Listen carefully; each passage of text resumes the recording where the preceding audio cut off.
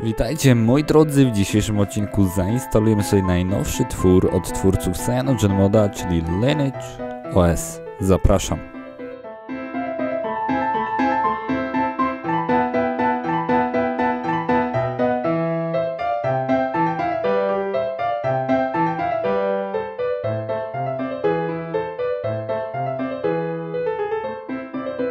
Jak zawsze w pierwszej kolejności oczywiście wchodzimy do naszego recovery. W moim przypadku jest to TWRP 3201. Nie będę tutaj się posługiwał kombinacją przycisków, użyję rebootera, który nam uruchomi recovery już z poziomu systemu.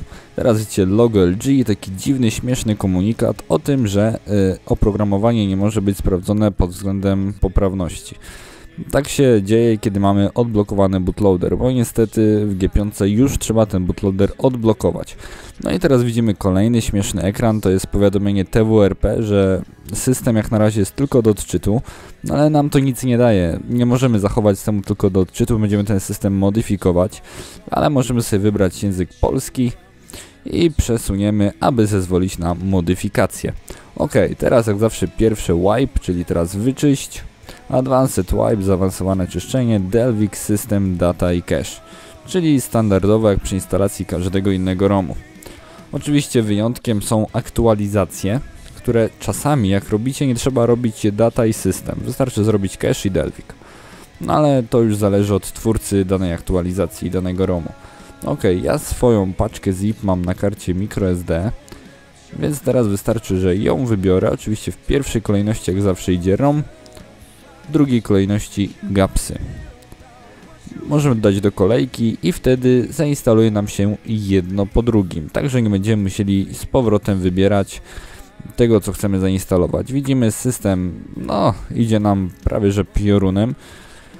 Nie będzie to trwało jakoś nadzwyczajnie długo i zaraz zaczną się instalować Google Appsy. E, słuchajcie, a propos tych Google Appsów, bo często do mnie piszecie, że wam się telefon nie uruchamia. Może być to spowodowane właśnie tymi Google Appsami, że one są źle dobrane.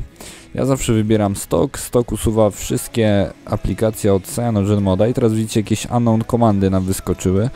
Nie wiemy co to jest, sprawdzimy potem w logach, jeżeli starczy nam na to czasu. O i teraz widzicie, już zaczęły nam się instalować OpenGapsy, ale system nam się zainstalował również, bo te unknown komandy były chyba po patchowaniu systemu, cokolwiek miałoby to znaczyć. No i teraz widzimy, że elegancko instalują nam się OpenGapsy. OpenGapsy to jest taka chyba na chwilę obecną najlepsza strona z Google Appsami. Z tego względu, że macie chyba najszerszy wybór tych y, Google Appsów, z tego względu, że macie wybór chyba od Androida 7.1 do 4.4. No i możecie wybrać sobie różne kombinacje tych gapsów, czyli mini modular, micro, pico, full modular, stock, aroma, czyli taki, że sami sobie wybieracie, które aplikacje chcecie, a których nie chcecie.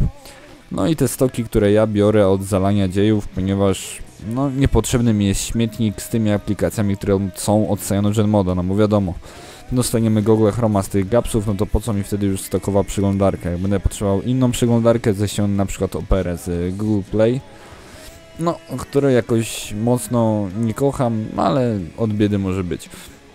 No dobra, słuchajcie. Telefony Wam się mogą czasami nie uruchamiać. Może być to spowodowane albo wadliwym oprogramowaniem, bo to nie zawsze jest Waszej winy, że coś jest nie tak. Nie zawsze. Zdarza się tak, że twórca ROMu sobie siedzi tam o godzinie pierwszej nad ranem, łupie, łupie to oprogramowanie, misklik i dupa. Yy, znaczy, no i w sensie coś może Wam nie zadziałać. Albo pomyli jedną literkę kodu i też będzie kicha. Dobra, widzicie te Google Appsy trochę dłużej mieli. No ale okej, okay, niech sobie pomieli, my poczekamy. I jeszcze wracając do tych Google Appsów, słuchajcie, teraz jest coś takiego, że są Google Appsy dedykowane pod różne architektury procesora. Są pod procesory 64-bitowe, 32-bitowe, pod ARMy i pod coś jeszcze chyba, ale teraz nie jestem wam w stanie powiedzieć pod co. Y, w każdym razie tak, musicie koniecznie dobrać odpowiednie Google Appsy dla swojego y, procesora, dlatego że no wypada. Wypada, słuchajcie, bo jeżeli dobierzecie złego Google Appsy, to wam się po prostu albo telefon nie uruchomi, albo uruchomi się i będzie milion powiadomień o tym, że aplikacja muzyka została zatrzymana, aplikacja Google coś tam zostało zatrzymane i tak w nieskończoność. Także nie przybijecie się nawet przez ekran powitalny, a że Google Apps instalują się na partycji system, no to będzie trzeba od nowa wszystko instalować. No ale dobra, w każdym razie słuchajcie, Google Appsy są bardzo ważne. Jeżeli wam się ten telefon nie uruchamia albo wyskakują wam takie okienka, to zróbcie to na spokojnie jeszcze raz bez Google Appsów. One nie są potrzebne do prawidłowego funkcjonowania telefonu. W nim są, znaczy w tych Google Appsach są zawarte takie aplikacje jak Chrome, Google Play i tak dalej. Czyli tak jakby, no, to co w Androidzie jest najważniejsze, prawda? Bo sklep z aplikacjami to jednak, no, przydałby się w takim porządnym smartfonie, ale słuchajcie. Jeżeli macie jakiś problem, to naprawdę olejcie te Google Appsy. Jeżeli z Google Appsami jeżeli bez tych Google Appsów system się normalnie uruchomi i będziecie w stanie go skonfigurować, to wtedy jeszcze raz na spokojnie dobierzcie odpowiednie Google Appsy do waszego modelu procesora, do waszej wersji Androida i będzie wszystko w porządku. Oczywiście ja Wam podlinkuję moją stronę z gapsami e, w opisie, bo uważam, że to jest chyba na chwilę obecną najlepsza strona. Kiedyś się pobierało z XDA, tam to były chyba gapsy do Paranoid Android. No ale, że twórca tych aplikacji w końcu zmiękł i stwierdził, że mu się nie chce tego cały czas aktualizować, to teraz są Open Gapsy i chwała temu człowiekowi, który się tym zajmuje. Nie wiecie nawet jakie to są, jaka to jest niesamowita praca w to włożona, także ja naprawdę szanuję tą pracę, która jest włożona w Open Gapsy i chętnie z nich korzystam. No dobra, słuchajcie, te gapsy jak widzicie mielą się i mielą, no ale to jest spowodowane tym, że on musi odinstalować stare aplikacje, przenieść pliki nowych aplikacji i tak dalej, i tak dalej. Co prawda system się szybciutko zainstalował, ale dlatego, że system był najzwyczajniej w świecie w jednym pliku, w obrazie IMG. IMG to jest oczywiście plik partycji Linuxa, w IMG macie recovery, kernel i tak dalej, i tak dalej. I po prostu wystarczyło ten jeden plik przenieść na pamięć wewnętrzną, no, a jak pewnie wiecie z doświadczenia, to jeden plik się przenosi szybciej niż wiele plików. Także z tego powodu system nam się szybciutko zainstalował. Słuchajcie, jeszcze tak yy, nawiążemy sobie do tego, że Cyanogen mod się zmienił w to Lineage OS. Ja wiem, że większość z Was może nie wiedzieć o co chodzi, ale chodzi o to, że kiedyś na początku Cyanogen to, to jest twórca. Od niego się, to był pseudonim twórcy i od niego się wzięła ta nazwa Cyanogen, bo jego pseudonim, Mod, bo modyfikacja. No, chłopaki sobie tworzyli naprawdę świetne oprogramowanie. Najlepszym Cyanogen modem chyba był Gingerbread i to był taki przełom. No i potem tak im dobrze szło, że bodajże kiedy był KitKat, oni stali się firmą. No i wiadomo, ogromne pieniądze zapewne. Nie wiemy jakimi obrotami chłopaki tam obracali, jakimi pieniędzmi obracali. O, ukończono, dobra, tutaj i tak nic nam się nie pojawiło, o co chodzi z tymi logami, no dobra, mniejsza z tym, słuchajcie, resetujemy. Yy, no i, yy, no tak, stali się firmą, no i pewnie, słuchajcie, coś poszło nie tak. Pewnie poszło pieniądze, oni się rozpadli, no i został sam twórca, ten pierwszy Cyanogen i on właśnie stworzył Lineage OS. Yy, no i zaraz zobaczycie pewnie logo tego Lineage OS, są takie trzy kółka, które symbolizują przeszłość, to kółko po lewej, teraźniejszość, w którym będzie migało inne kółko oraz po prawej stronie też takie mniejsze kółko, które będzie przyszłością. Nie wiem dlaczego, no ale właśnie takie logo wybrali, takie coś chcieli stworzyć. Oczywiście lineage to jest po angielsku rodowód. Także Pewnie chodzi o to, że to jest nawiązanie do tego Cyanogen moda, który odniósł taki sukces. I teraz słuchajcie, ten telefon się uruchamia. On się uruchamia naprawdę bardzo długo, ale widzimy, że dioda powiadomień świeci, więc kernel załapał. Bo dioda powiadomień jest w kernelu, to że ona świeci, kiedy system się ładuje. W międzyczasie, jeżeli zauważyliście, to ekran się ściemnił. e, na kamerze widać to tak jakby ten Lineage OS zmienił kolor na trochę bardziej niebieskawy. No ale on mieli, ja to przyspieszyłem słuchajcie, bo to trwało 4 minuty 34 sekundy, no a potem poszedłem do kuchni zrobić sobie kawę i nagrywanie w kamerze się wyłączyło, więc nie jestem w stanie sprawdzić jak długo to konkretnie trwało. To 4 minuty to jest stan na moment, w którym się wyłączyło nagrywanie. Ok, teraz oczywiście wpisujemy się do Wi-Fi, nasze konto Google'a i jeżeli będziecie mieli farta, to przywrócą Wam się wszystkie aplikacje z poprzedniego systemu. No ja akurat tego farta nie miałem, nie wiem, czy dlatego, że w tym samym czasie spadła mi zaspa z, z dachu garażu i było trzeba iść odśnieżać i musiałem się odciąć od Wi-Fi. W każdym razie, jeżeli jesteście cały czas do tego Wi-Fi podłączeni, to pewnie Wam się automatycznie zaczną ściągać stare aplikacje. Okej, okay, e, słuchajcie, tutaj na tych ekranach bardzo ostrożnie, bo one są bardzo mocno zbagowane. Jeżeli coś źle klikniecie, ten ekran się może zapętlić i będzie trzeba formatować znowu system, albo nie, wtedy wystarczy datę sformatować i będzie trzeba od nowa przez to przechodzić. Nie wiem dlaczego, ale one się bagują, coś źle naciśniecie, słuchajcie, ten ekran się zapętli i nie będzie się dało z niego wyjść. No i teraz widzimy pulpit Androida, możemy wybrać launcher. Jeszcze nie używałem tego Pixel Launchera, ale standardowo wybierzemy Google Now Launcher. Ok, teraz e, chcemy sprawdzić te logi, które są na karcie microSD, albo nie. Najpierw sobie wejdziemy w informacje o telefonie, Android 7.1.1, widzicie Lineage OS i mogliście zobaczyć przez krótką chwilę, bo widać numerek 14.1. To jest nawiązanie do wersji Cyanogen Moda. 14.1, bo oczywiście był Cyanogen Mod 14.1, ale nie pożył on specjalnie długo, no bo zaraz ta firma się rozpadła i powstał Lineage OS. Ok, widzicie teraz logo Nugata, ale chyba żadnych fajerwerków nie ma po wejściu w tego Nugata. E, Double Touch to Wake oczywiście nam nie działa. Na ekranie głównym działa nam na belce powiadomień. E, double Touch to Sleep w tym momencie. Double Touch to Wake jest wtedy, kiedy chcemy wybudzić telefon.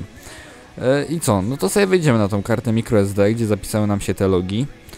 E, menadżer plików i słuchajcie, nie mogę wejść na tą kartę. Nie mogę. Instaluję SuperSU, bo menadżer plików woła mnie o dostęp do roota i nic. SuperSU nie może zaktualizować binariów, słuchajcie. No ale się okazało, że to jest taki mały... Nie wiem od jakiej wersji Cyanogena to było, ale trzeba wejść w ustawienia dewelopera i tam włączyć dostęp do roota.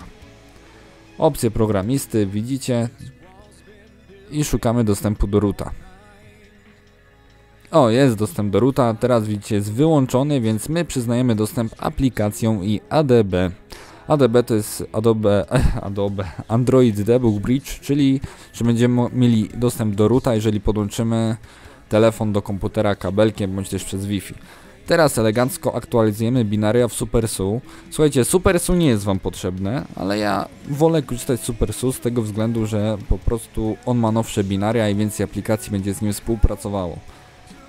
Także jeżeli nie chcecie tego instalować, nie instalujcie. Ja wolę to większy komfort korzystania z urządzenia. No ale co, chcemy wejść na kartę microSD i nadal ta operacja wymaga uprawnień roota, słuchajcie. Nie wiem jak to się stało, ale no nie da się wejść na kartę microSD z tego domyślnego menadżera plików. Słuchajcie, koniec końców, w dalszej części tego filmiku udało mi się włączyć dostęp do roota w tej aplikacji. Wystarczyło kliknąć na zębatkę, która jest dostępna po wciśnięciu tego, tych lewych, o właśnie tutaj widzicie, pod, tak, w lewym dolnym rogu zębatkę. Tam trzeba wejść, no i tam trzeba włączyć ten dostęp do roota, ale tak czy siak komunikat będzie ten sam, czyli żeby wejść na kartę microSD, on i tak będzie potrzebował dostępu do roota, ale o ten dostęp nawet nie poprosi. No, słuchajcie, mi po prostu brak jest słów na to, że nie mogę wejść na swoją kartę microSD z domyślnego menadżera plików, nawet po takich kombinacjach. Koniec końców udało mi się dostać na kartę microSD przez aplikację dokumenty, która jest gdzieś tam głęboko schowana w systemie. Ona jest chyba dostępna nawet jak ładujecie jakiś plik do chmury i tak dalej, i tak dalej. E, w każdym razie, słuchajcie, na razie recenzji Cyanogen Moda 14, e, no, 14.1, czyli Lineage OS nie będziemy robili. Z tego względu, że ten system jest jeszcze za mało dopracowany. Używałem tego systemu przez dwa dni jak dotąd i muszę wam powiedzieć, że w pewnym momencie rozładował mi się telefon do zera. W ogóle bateria szła jak na łeb na szyję. Rozładował mi się do zera, leżąc na stoliku. Nie miał zainstalowanego Facebooka, co też jest ważne, bo wiemy, że Facebook w ostatnim czasie też jadł baterię sam z siebie. No i teraz widzicie, włączyliśmy przed chwilą dostęp do ruta i nadal nie mogę wejść na microSD. No i rozładował się do końca, słuchajcie, podłączam go do ładowarki. Wyświetliło się logo Lineage OS. Mieli, mieli, mieli 15 minut mieliło na logu. Odłączyłem od ładowarki, musiałem formatować telefon, który się nie naładował nawet do 2%, cały czas było 0.